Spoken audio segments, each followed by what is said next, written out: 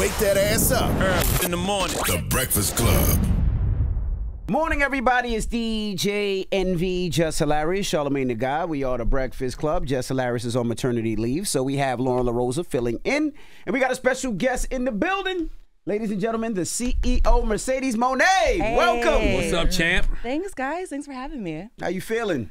I'm feeling good on this beautiful New York morning. There you go. Was in a long, long traffic this morning, but it's good. I'm happy to be here. Oh, the UN is in town. Yeah, that's you why. went to yeah, town. that's what I yeah, heard. yeah, yeah, yeah.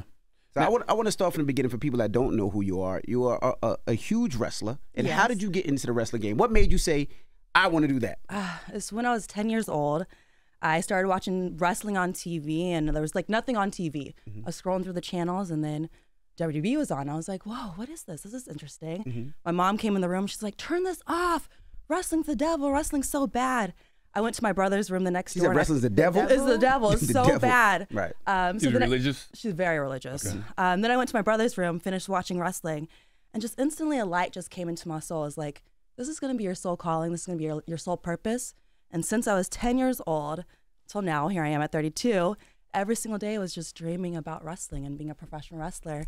And now here I am, the greatest women's wrestler of all time. Did your brother used to practice his moves on you? DDT? No, no, no. My, my brother has special needs, so he couldn't have done that. No. Oh, okay, okay, okay, okay, okay. So, so you originally uh, were born in California, Yes. and then you moved to to Boston. Yeah. Now, why did y'all move to Boston? Was it for your brother? It was for my brother. My brother has special needs, and uh, we moved around a lot just to find the right doctors and the right schools for him.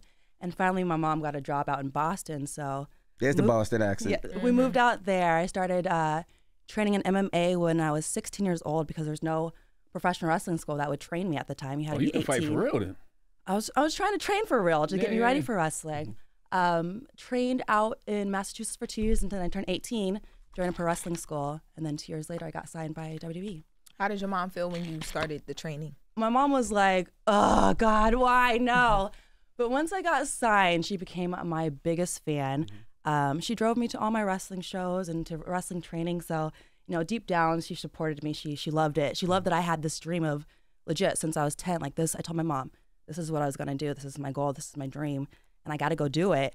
Um, but once I really made it, that's when she's like my biggest fan. Pardon my ignorance. I didn't know there was pro wrestling schools. It's like what Ric Flair University or something. There's, Ric professional wrestling schools all over the I didn't know that. world, everywhere. For actual, like for this type of wrestling. to, to be the best, you got to train with the best. And Do I've you traveled get- all over the world to, to be the best. Is it like you get belts there? You get degrees? Like what do you? Get? No, you don't. You get learn. you get belts in the the big leagues. I with I'm with AEW. I'm a two time champion. Um, no, you just begin training. You learn how to bump, how to hit the ropes, how to be a performer, how to cut promos. Um, there's like I said, there's wrestling schools all over the world. They're in New York. They're in Boston. They're in England. They're in Australia. Wrestling is is global. Do these organizations go to these schools to find talent? They do. They scout them out. They either scout them out or us as wrestlers, we have to book ourselves. We have to go out and make a name for ourselves and be seen. Um, I remember writing to WWE every single week. Anytime they were in town from Boston, I'm like, can I be? Can I please be an extra? Can I be an extra work? Can I get a look at? Um, then they looked at me, and then they sent me down to Florida for a week tryout, and then that's when I got signed full time. Wow. Congrats. What was your break? What was your big break that actually got you into wrestling? I feel like my biggest break was in 2015. Um, myself and this wrestler named Bayley, we had the greatest women's match of all time. Uh, Sports Illustrated said we had the greatest women's match of all time, and that's really changed the landscape of women's wrestling after that match. I felt like a lot of people started taking it seriously and really letting people know that women can do it just like the men and more. And because me and Bayley had that match and the the standing ovation and the crowd reaction, the next pay per view, me and her got to main event that pay per view special because we did so good. Wow. And how many injuries did you receive? You know, throughout this whole process, and and, and how bad Not has too it been? many. Not I've too many. had about five broken noses, Jesus. my ribs broken, Jesus. um, dislocated pelvis. And you said not too many. not not too many. Um, and last year I uh, broke my heel, which took me out for a whole year. Mm. Yeah. How, how long did it take before you feel like you made it in wrestling? Hmm. Hmm. I don't know. Maybe don't feel like maybe no, I feel I feel like I'm, I made it. Okay. Um like I said 2015 was like that start of that buzz for women's wrestling and then really 2020 2021 where I main evented WrestleMania being the first ever black woman to main event a WrestleMania. That's when I really felt like I did something. I made it. I won an ESPY off that match. Um, that's another match where fans come to me and be like, because of that match, my little girl wants to be a wrestler, or I can bring my my kids to wrestling, or I, I enjoy all of this because of your matches. You make me feel a certain type of way. Um, so I feel like maybe really in 2020, 2021 is when I really felt like I made it, or like I cemented my legacy in wrestling. You take wrestling with your spouse to a whole nother level. Like you know, how you wrestle with your girl or you have fun. You take that to No, a whole nother level. No, you can't play with her. No, you can't play with No, you. don't play with me. Don't play with me. I'll slam you down. I'll put you in a bank statement. I'll make you tap out if you mess with me. Could you type way. imagine you playing with your girl and all of a sudden she got you in the in the, Illegit arm in the bar? headlock? You're like, all right, tap Have you ever out. had to do that in real life for real to one of your guys? Um, not to any of my guys. A couple of fans when they want to come a little too close. Yeah, You don't got security? I do have security. I was about to say. I just got security, so yes. Yeah. Yeah. I mean, and you don't need security, you know, the, the, to protect you from people, more so in some cases to protect Them. people from you. Yeah, exactly yeah, that. yeah, yeah. Exactly that. Do guys like approach you like wanting you to do wrestle moves All to the them? time. That is so really weird. weird. So annoying. really. Mercedes body slam me, body me in a slam me. because they just want to be really close and, and snug. But it's, you gotta give them your space. You gotta be like push back, Mm-hmm. hold the championship, and we'll stand a little a little far apart for our picture. That's it. What do you think would have been your plan B if you didn't make it as a wrestler? That's hard. I, I never really had a, a plan B before I was a wrestler. I was an order taker at a restaurant. Um, I was a, sho- a shoes associate. So I feel like maybe just a manager at a hotel. Like I, I just only saw wrestling for me. That was my A, B, C, D, E, F, G. Uh, my only goal, my only desire. So I think I would only be a professional wrestler in, in some type of way, you know, or in the wrestling industry. Did you ever feel like giving up? Did you always have like the full support of your family? Was there anybody saying, "Hey, why don't you go learn a trade"? Um, there's there's only been maybe twice in my career where I'm like, I don't think I can do this anymore. Just the the pressure, the the the politics, let alone just the politics and being a woman in this sport. It's it's a male dominated sport and a woman of color. Nonetheless, um, there was a couple times where I had to look deep down inside and be like, do I really want to do this? Do I really want to go through this pain every single day? It's not just mental pain, it's physical pain that we're mm-hmm. putting our bodies through mm-hmm. every single week with the travel and then the, the bumping, getting on the cars, driving to the next towns.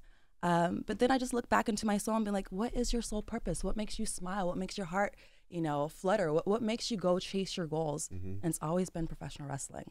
What um you said you worked at a shoe store? I did. What store did you work with? Bakers. Bake oh Baker's shoe my store. Yeah. So I see the, like your photos and your photo shoots, the stuff that you do for Moné Mag Yes. is like very like fashion artsy. It do so incorporating your fashion sense and then like what you like about art and all that stuff into your brand. When did that become a thing? When did you know you needed to do that? Ah, right away. I mean, watching wrestling is larger than life. You had to watch like the Macho Man. He had the the bright colors, the glasses, the hair. I knew when I was going to be a professional wrestler, I wanted to be larger than life because I was such a shy girl growing up. Um, then when I got signed, I, I dyed my hair, I got the nails, I got the necklace, I got the glasses, and then really I started to tap into myself and being like, okay, it's okay to be beautiful and feel that way and, and, and tap into your femininity. And I love fashion and art and getting to design your own wrestling gears and but wear that out every Oh, that's single lit. week. It's the funnest part of wrestling. I love being a girl and I love coming up with my costumes and I feel like I have the best costumes in the game. Is it true that, that Snoop is a, a relative of yours? He's my first cousin, yes. Snoop Oh, is your first shoot, cousin. yeah. When did you find that out? Did you always know growing up? Or I did didn't. find I didn't find out until I was maybe like ten years old, and my dad's like, um, "Snoop's coming to Iowa, where which I where I lived at the time." He's like, "So let's go see him." Saw him, and I told everybody at school, "I'm like Snoop Dogg's my cousin," and everyone's like, "No, he's not. No, he's not." Went to the concert, and Snoop gave me like a whole box of shirts to give to everybody at the school the next day, and I felt like the coolest kid in class. And then when I was 16, he was hosting WrestleMania, and I messaged my dad. I'm like, "Can you please ask Snoop to bring me to WrestleMania, please, please, please?" He brought me to WrestleMania, and I feel like just from that in, our bond came from wrestling. Like we just talk about wrestling, we love wrestling, and still to this day, he's one of my biggest fans and supporters. Wow. So first cousin, I mean, That's one of your- your parents is his. My dad is brother, his uncle. Yes, Oh wow, wow, wow, Uncle. Rio. Wow. Wow. You smoke with him?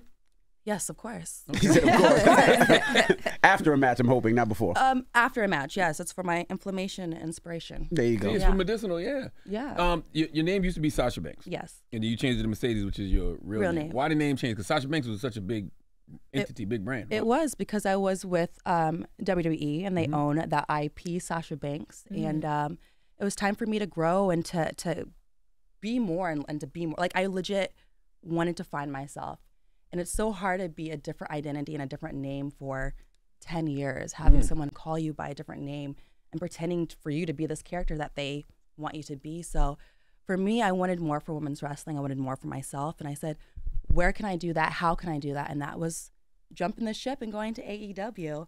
Where, built- where did the Sasha Banks name come from? it came from WB. They um they tell everybody when you get signed to come give up like a list of names, and I gave them Sasha with a different last name and, and Banks with a different first name, and mm-hmm.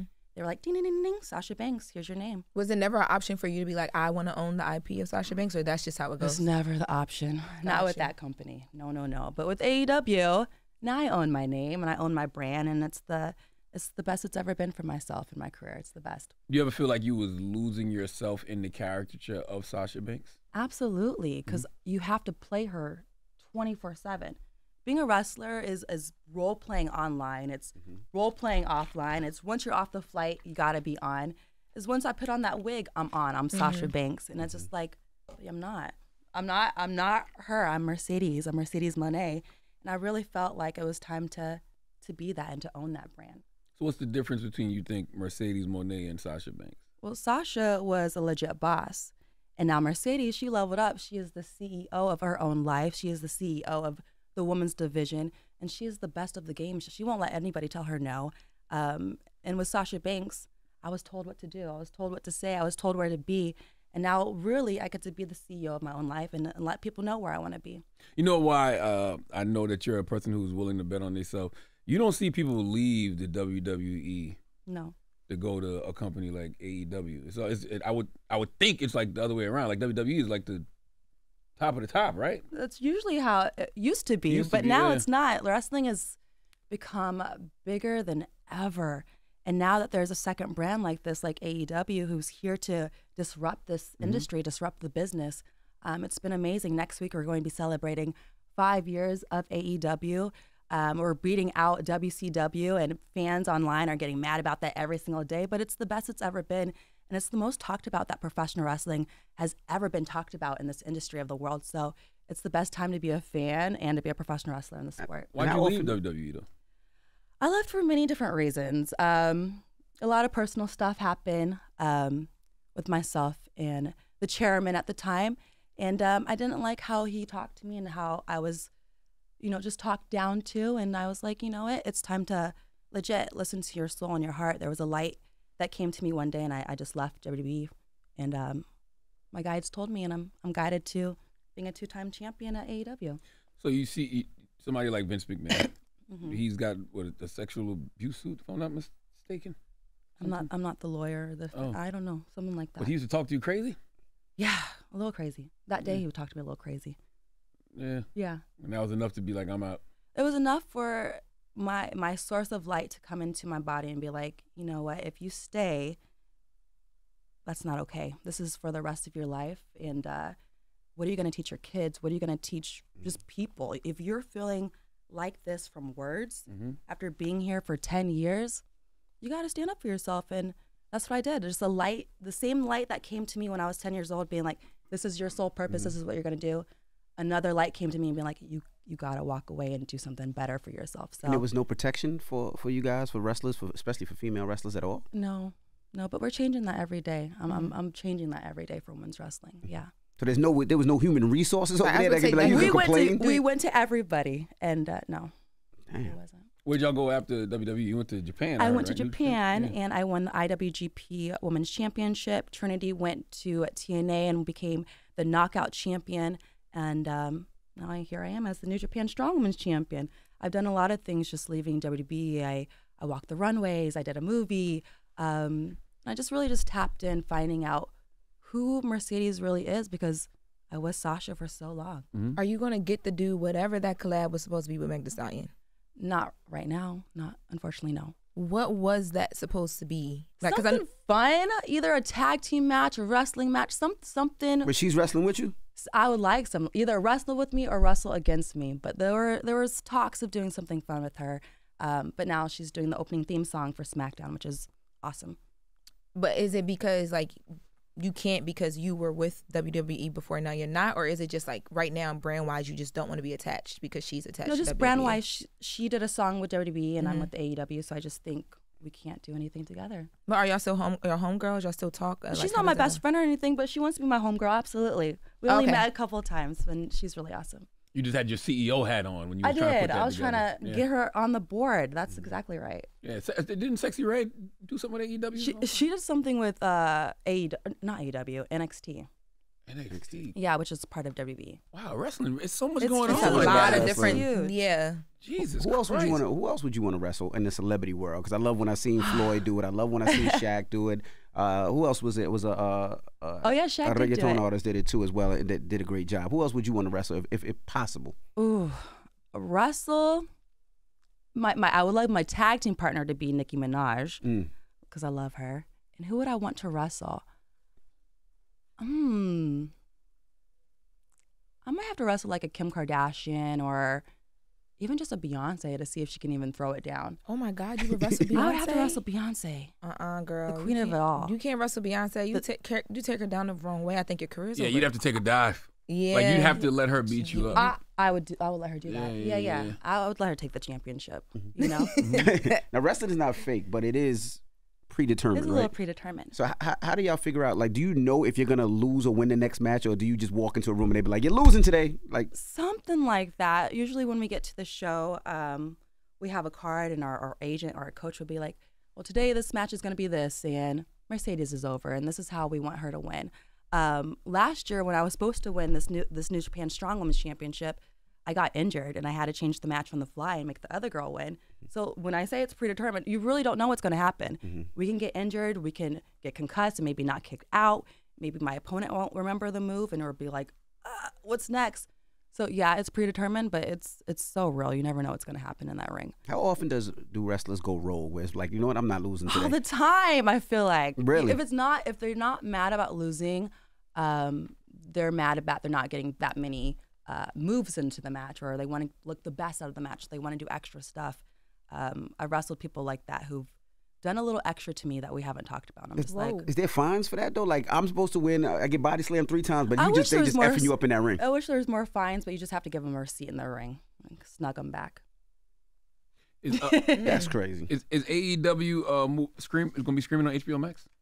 I don't know. There's rumors of that. There's Yeah. definitely rumors um, of us joining uh, Discovery and HBO Max, which would be huge. But I'm I'm not sure if that deal is done yet. But I hope so for for wrestling. How do you feel about that as opposed to it being on TBS or TNT? Because you know, growing up, I grew up in South Carolina, so that's all I used to watch was TBS and TNT. Oh, it's still very much going to be on TBS and TNT okay. every single week. I'm the TBS champion for a reason. I'm the face of TBS. Oh, so I got it's, all, it's all the same company. It's all the same. It's, Yeah, I'm yeah, still yeah, going to be on TBS, so it's not going anywhere. I'm going to be on TNT and TBS for a very long time.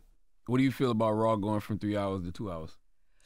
I think um, I think that sucks for the wrestlers. Just Mm-hmm. if you lose a whole hour, that's a whole opportunity of, of performing in front of a live audience and in front of millions watching at home.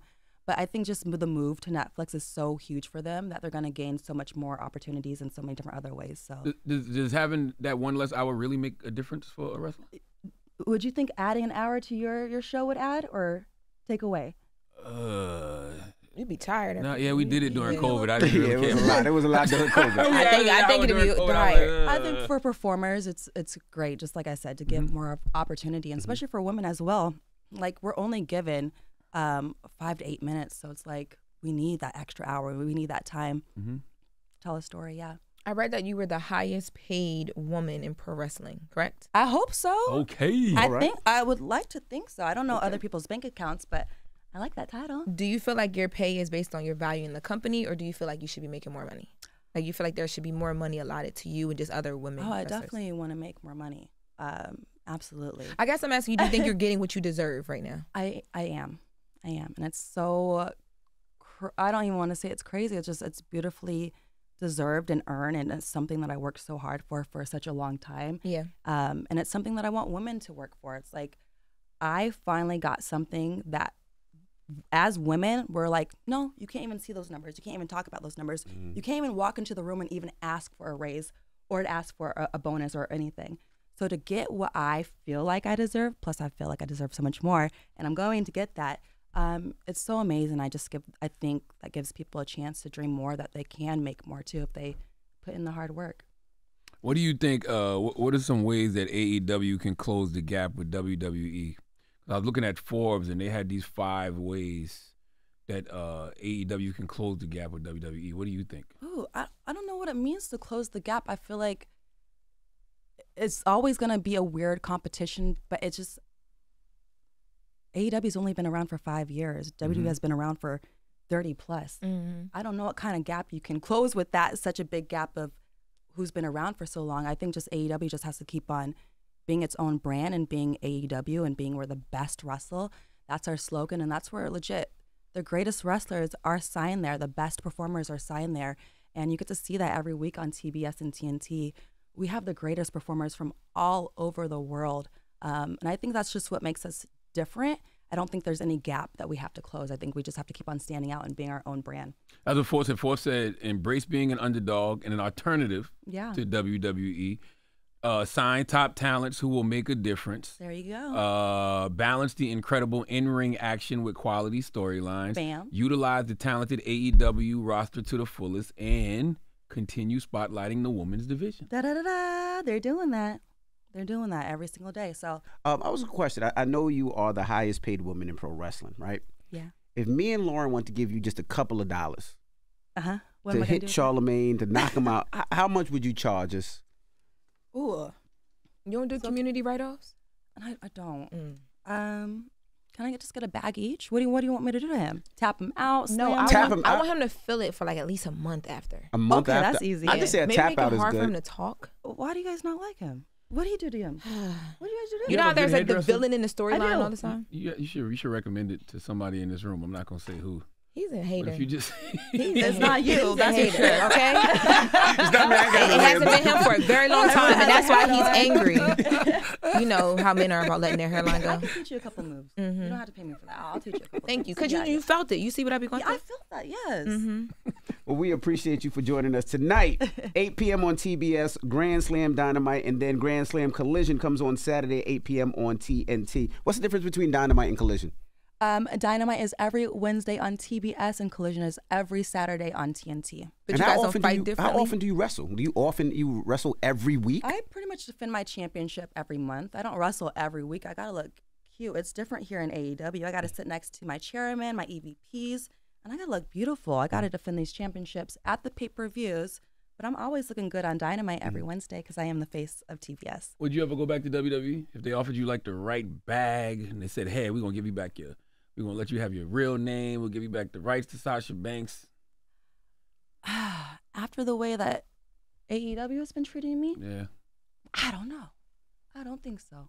I feel like I have the best relationship with um, AEW right now, and it's legit. I'm living my dreams, and it's the best place I've ever been mentally and physically. And to be able to have new dreams after being in the industry for 14 years, it's the best feeling in the world. So AEW is my home right now. dope. And how how is dating life for you? How how, how do do men approach you? Are they nervous? Are they scared?